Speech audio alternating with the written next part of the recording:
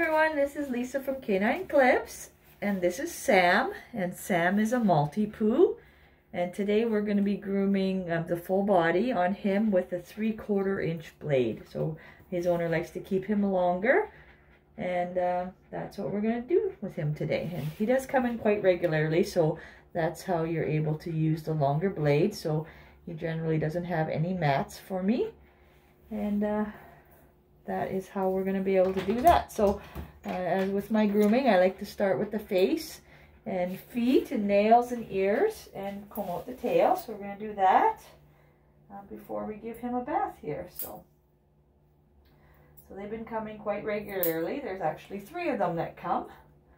And I am doing videos on all of them. And then I'm also going to do a video on how different Maltipoos can look. So uh, Maltese crossed with a poodle. So they can be very uh, different sizes and uh, different characteristics of their fur, all depending on what parent they take on.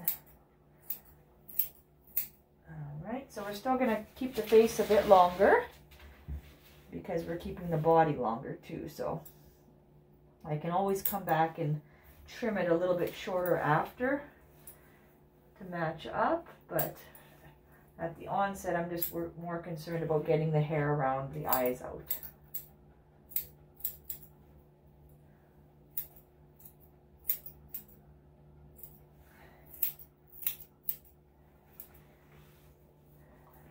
All right.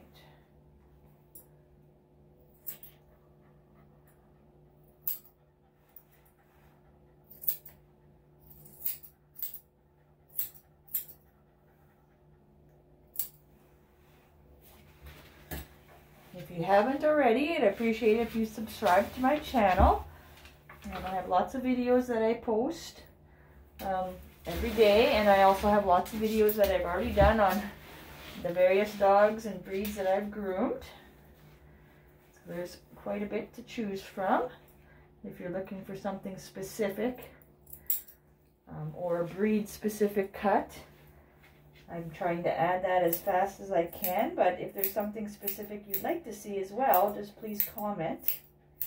And I will put that um, up as soon as I'm able to do so. This is my full-time business. I do work out of my house. And I've been doing it for just about 16 years now. It's actually 16 years this month, so pretty excited about that and still very much enjoying what I do. My uh, dog clients always wonder how their dog does when I'm grooming them. And I always say, oh, they're doing good, or they're just a little bit nervous, or fidgety, or whatever the case may be. Um, so that's one of the main reasons I actually started the YouTube channel. So that I can show um, the owners how well their dogs do act and that, you know, although stressful, um, their dogs are okay. Alright, so I'm just going to pluck out that ear while I'm over here. So you can see it's a little bit red, a little bit deeper pink. Um, and once I pluck all that hair out, that will assist in that. Because um, the, the wax has something to stick to, which makes the hair a little bit heavier. And that's what causes the irritation for the dog. Makes it quite itchy. So once I get all this out, that should alleviate that. And it does come out quite easily.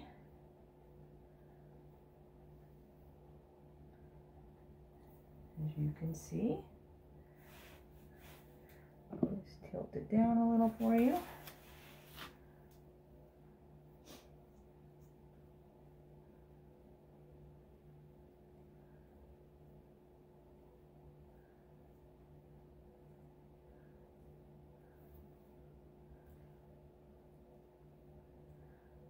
a bit of hair in there that's quite long. So when the wax sticks to the hair, it makes it heavy, so then the hair grows downward into the ear canal.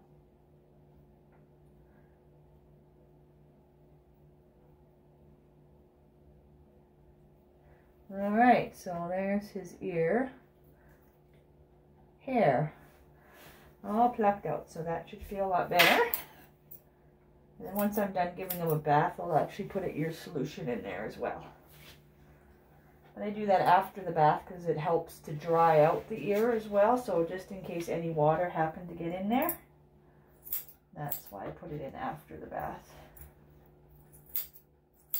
And it'll just help dry up any of that wax that's in there as well. So when they shake their head, that will come out.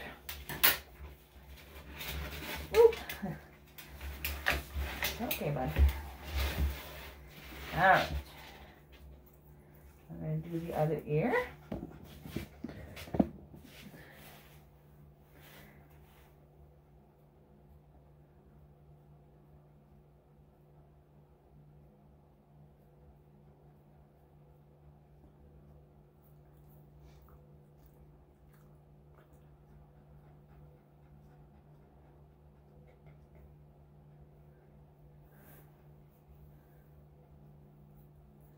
This one also has quite a bit of hair in it.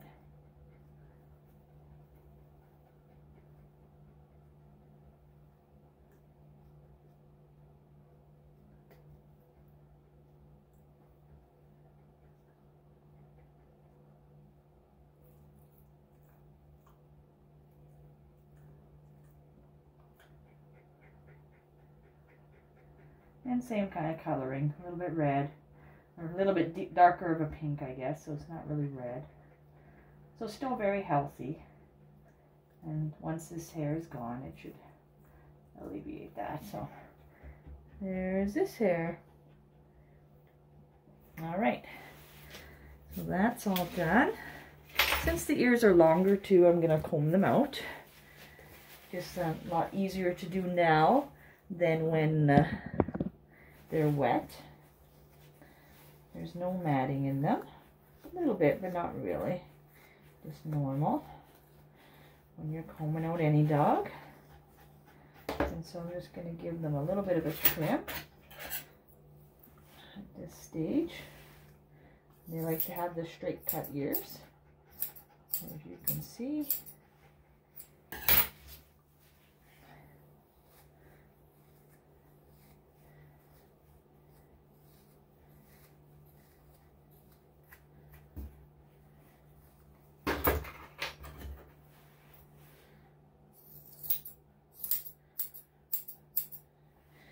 There we go. And then um, after the bath, I will even them out a little bit more. We'll just kind of see how after the bath and comb out what's, uh, if there's any strays at that time.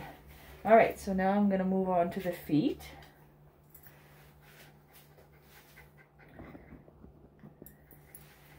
We got a little bit of hair in there, but there's no matting or anything. Like I said, uh, these guys come quite regularly, so there's three of them. So not too much matting. The owner likes to keep them longer, so um, they do have to come in more regularly for that.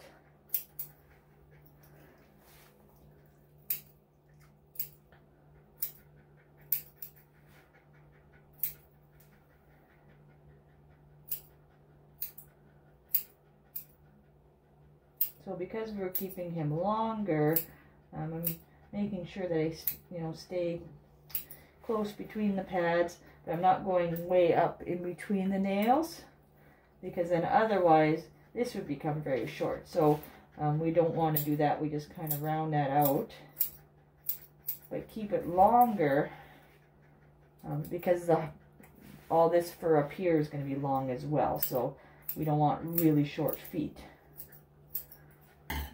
because that would stand out. All right, we're just going to do the nails on here. You see he's pretty relaxed. We'll see if that continues.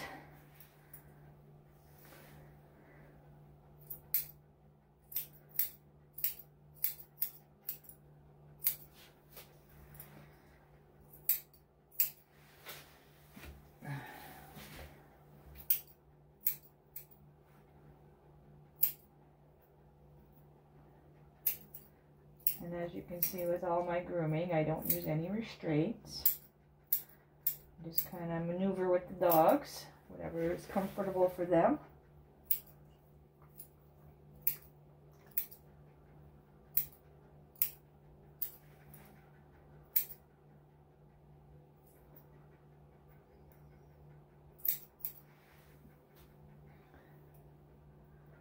and their comfort level.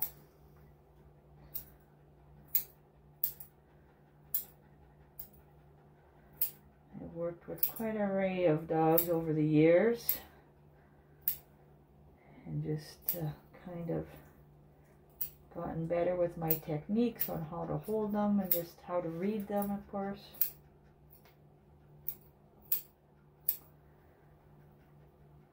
But still, after 16 years, it's still one of the best decisions I made. I love doing it. Love working with these guys.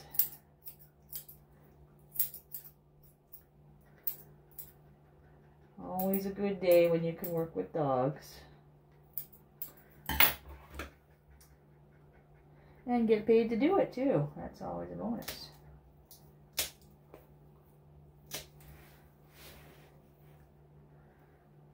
This one's worn down a little bit, so he might have been chewing on that one. Might have been sore. And then put a little styptic powder on it. Oops, wrong one. Just to make sure. You just hold that in there and push it down, just making sure it sticks onto the nail and that'll clot up, clot up everything. All right, so we're done one half of his feet. We'll start on the second half.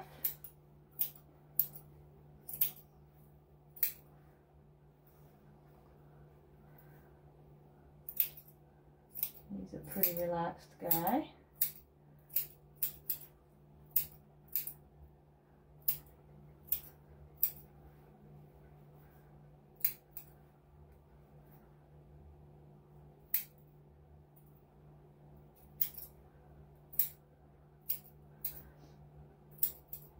Also, if uh, you have any suggestions on what um, you'd like differently done, please let me know. I've had one comment that I talk too much, or, um, you know, just anything like that. So if there's any suggestions to make my videos more appealing to you, I'd appreciate that. I always like to try to explain what I'm doing when I'm doing it. But maybe there's uh, something different you'd prefer, so please let me know. I'm always open to hearing what you have to say. I'm pretty good at getting back to everyone. I do respond to all the comments and or questions.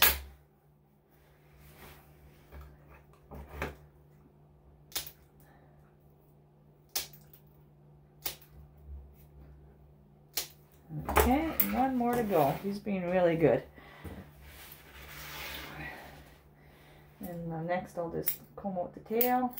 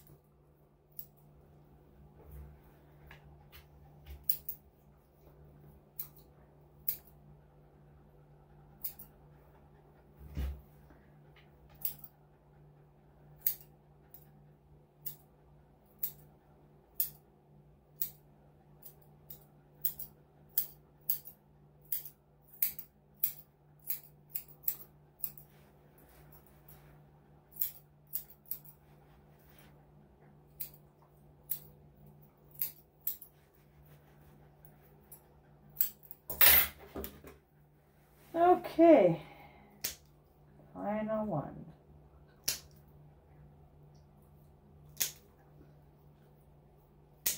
usually if uh, the dog gets frequent walks as well too, the back feet or nails won't need as much of a trim as the front ones. It's not uncommon, as you can see, for nails to bleed. It's not a big concern. That just helps the quick to recede. So you just got to make sure you have some styptic powder on hand for that situation. I just want to make sure it clots really good before I move on to the next stage. Sometimes when you bath them it can start bleeding again so I just keep an eye on it.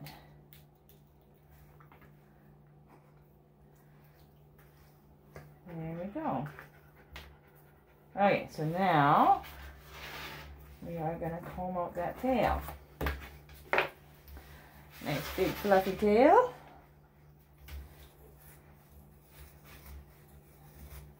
Again, not really any matting. Just a little bit in there, but that's probably because it's nice and long. Not necessarily mats, but just, just the thickness of it. And so there we go, just take a little bit. Oops. And I just give that a trim as well. But we still want to keep that length because the whole body is going to be a little bit longer as well. Oh, looks like might be a nail on the front paw bleeding as well. Yeah. So let's put some styptic powder on that one. Oh, like that. Like I said, it's not uncommon for the nails to bleed. Even with regularly groomed dogs, sometimes their quick, um, just grows a little faster. So just prone to bleeding, but it's always a good idea to get those nails regularly done. Otherwise, if they get too long, it causes some discomfort for the dog when they're walking. And you'll notice that they'll start um, licking or chewing on their feet because they want to alleviate that themselves. All right, so we're going to take him here and move him to the tub area.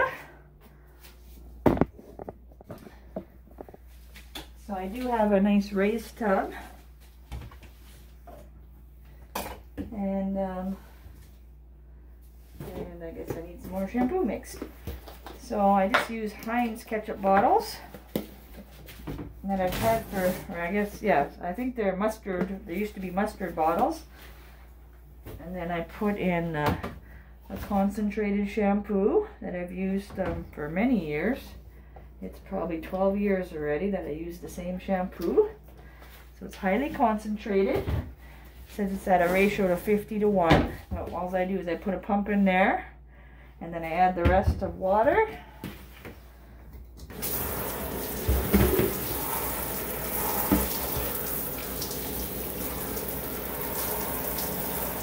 And for the lids, I actually uh, have the ketchup bottle lids so that I don't have to worry about when I tip the bottle over that it spills out right away. It only spills out if I squeeze the bottle.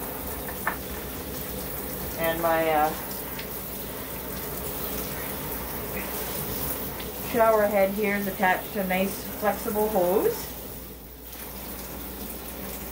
And I have the temperature set on my uh, on my gauge here so that when I turn on the water, I just turn it all the way up and then it's already preset. So I never have to worry about the water being too hot or too cold for the dogs. It's just set to the good temperature so I don't have to worry about trying to fuss with the temperature.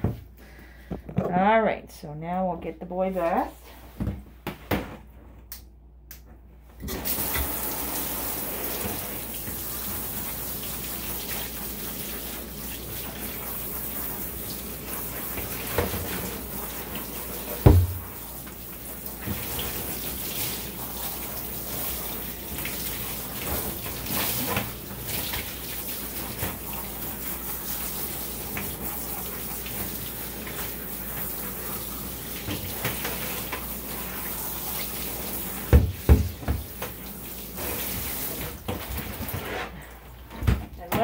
It's always good to remember to try to keep that um,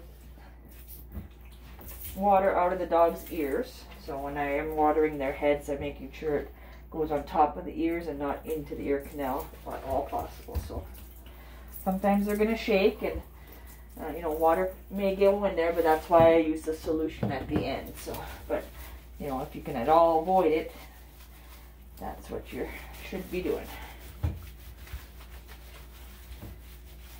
Give them a good lather.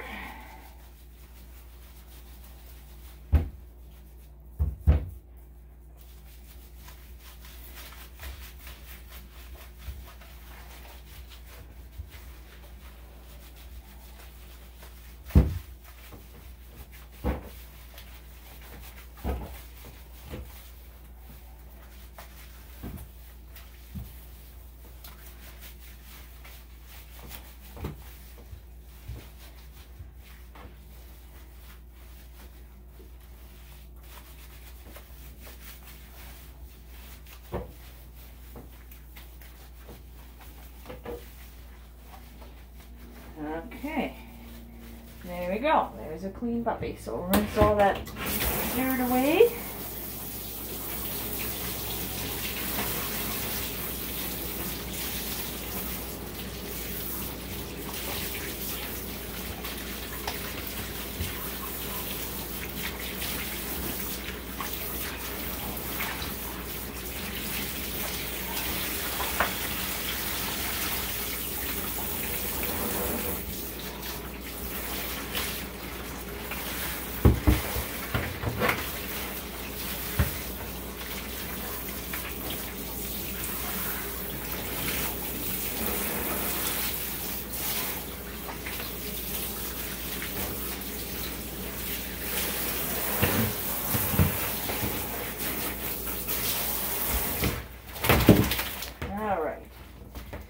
one thing also that I use in my drain is one of those sink stoppers to catch all the hair and debris that may go in there because I don't, of course, want that to go into my pipes. So it keeps them nice and clear because otherwise there would be a lot of dog hair going into that. You know, so it's just nice to catch it as it comes out of the dog. Just with a trim, obviously there's going to be some stuff that goes down the drain too. I like to kind of wring off anything I can.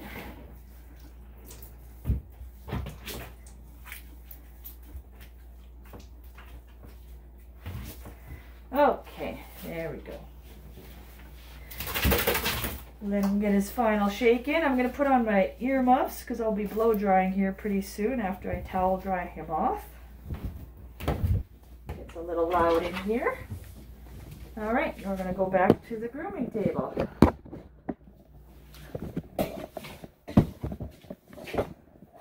There we go. And I just have Sam and the towel here.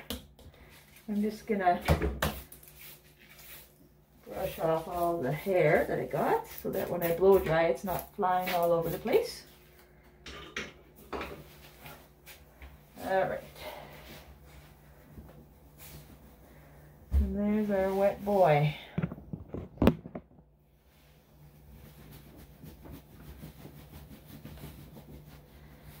So I'll use the towel to get off as much water as I can. And let the blow dryer do the rest.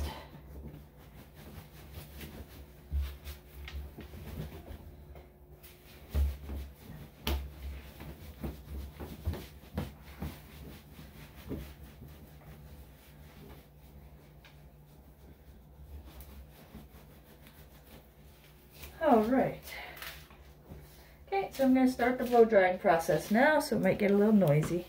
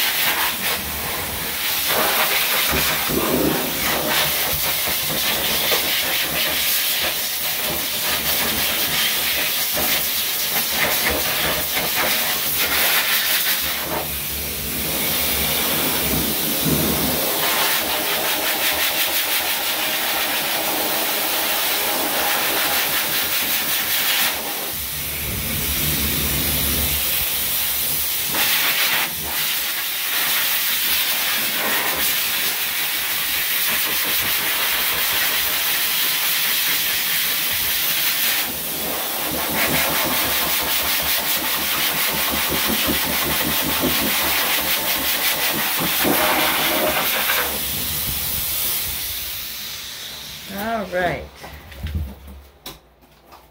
So obviously he's not going to be completely dry at this stage, uh, but he gives me gives me the bulk of the moisture is off him right now.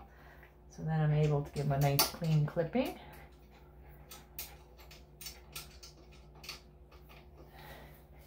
So like I said, using the three quarter inch blade at this time. I like to start at the back of the head and just work my way back from there.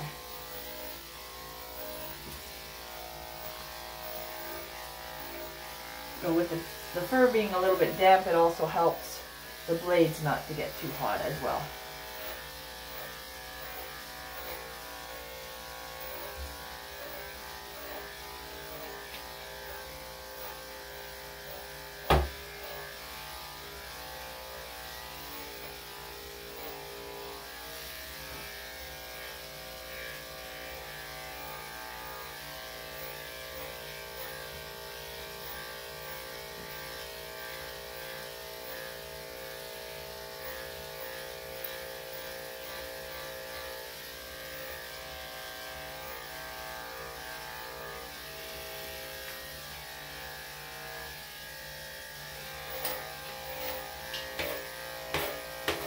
Usually you can only use this clipper blade if there's no matting.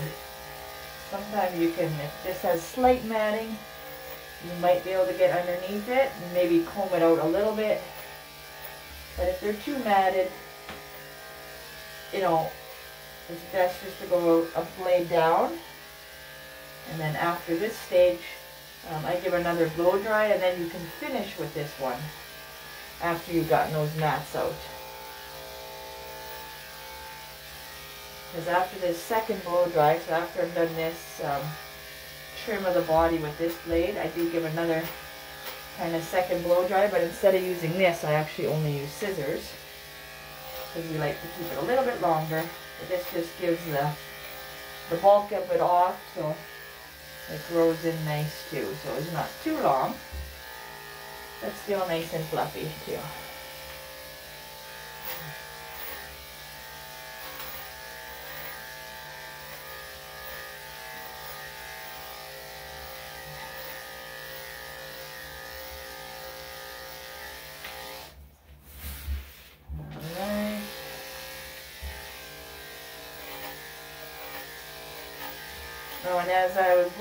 As well, you probably noticed when I did the ears, you always make sure you're not blowing into the ear canal.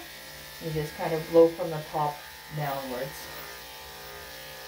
You don't want to blow any air directly into the ear canal again because that can cause uh, ear infection or some problems in the ear.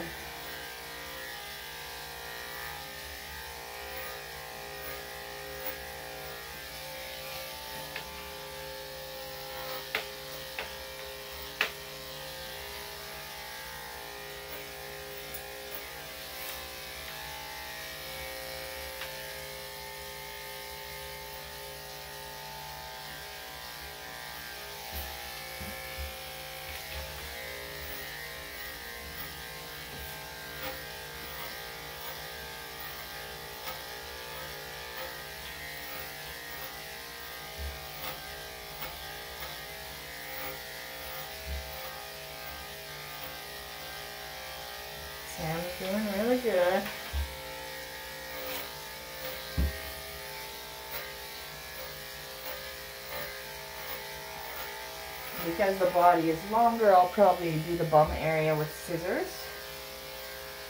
Just so it kind of matches the body a little bit better. The hair in the bum actually has lots of curls and swirls usually. A lot of cowlicks. So the hair grows in different directions, so when you're using clippers there, it, it always gives the illusion of a shorter cut, even if you're using the same length of blade on that area. And it's okay to go a little bit shorter in the bum anyway, but this way you're able to control the how long it is. All right. I'm going to use a three and three quarter underneath the belly there, just to clean up that area, and we'll kind of use a few different lengths under here to make sure it's nice and clean. this is the area where we don't want stuff to be sticking to. So always do that a little bit shorter. And then uh, right around where he pees, I'm going to actually use a number 10 because I want to make sure I don't grab anything. And you don't have to go right to the skin with it, but it's just a lot easier to uh, clean up that area without worrying about catching anything in the clippers. But it's alright to go nice and clean in that area. This area is also prone to matting as well. And I go a little bit down the legs as well.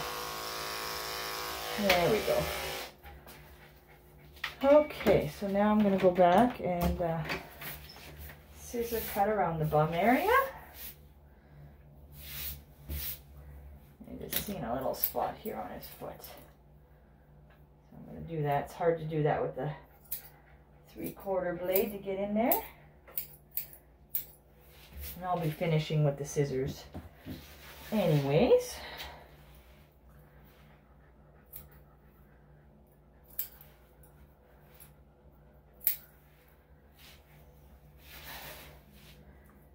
Kind of wait till he stays still. So there's stuff stuck around his bum real close. I'm going to trim that shorter. And that kind of gives me an idea of you know, where the stuff sticks. So I generally will trim that a little shorter.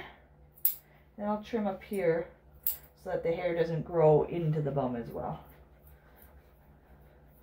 Got lots of curls in here.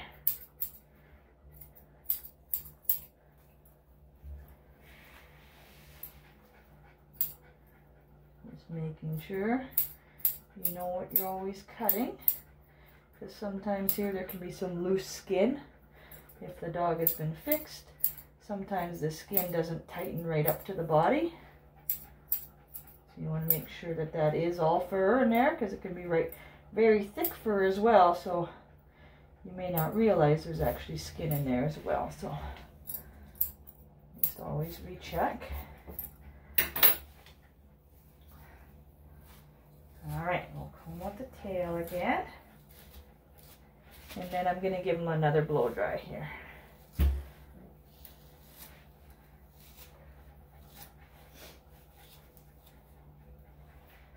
All right, move all my stuff off.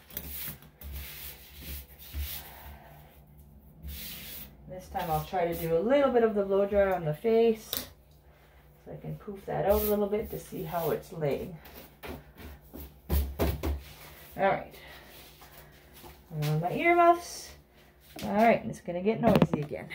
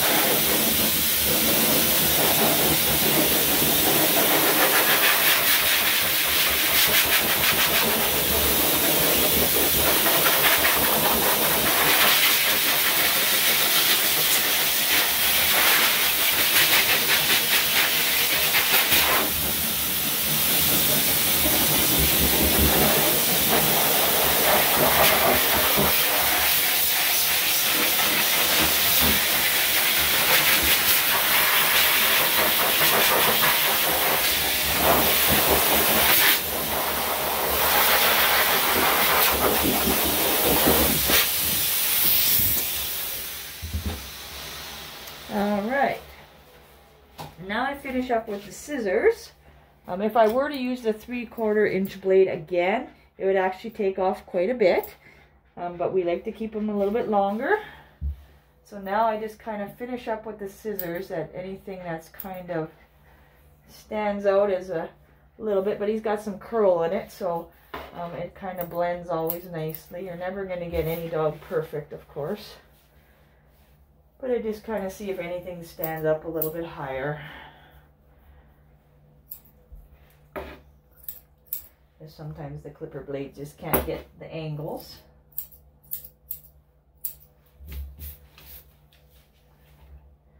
And this just gives it its finished look. So behind the neck, sometimes it can't get it. So, and of course, keeping the head a little bit longer. But rounded, and after that second blow dry, it kind of lays. And you can kind of shape it a little bit better.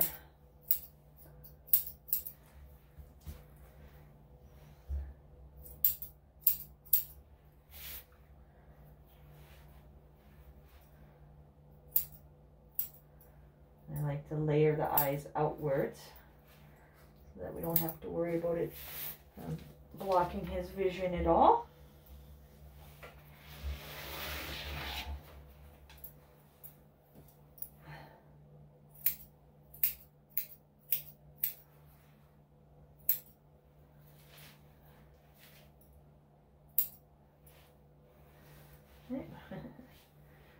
I'm just going to trim a little bit shorter here because there's some staining so that way when they're cleaning it gives them a little less fur to stick to.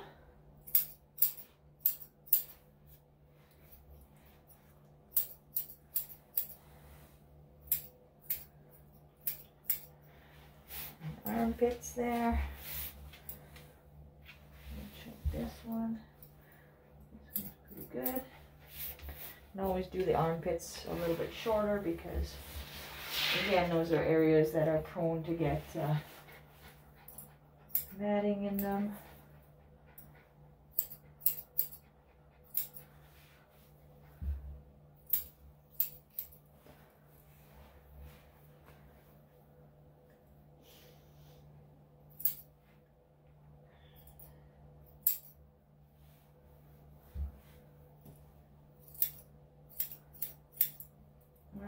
So if you like this video, I'd appreciate if you subscribed and you can see more videos like this.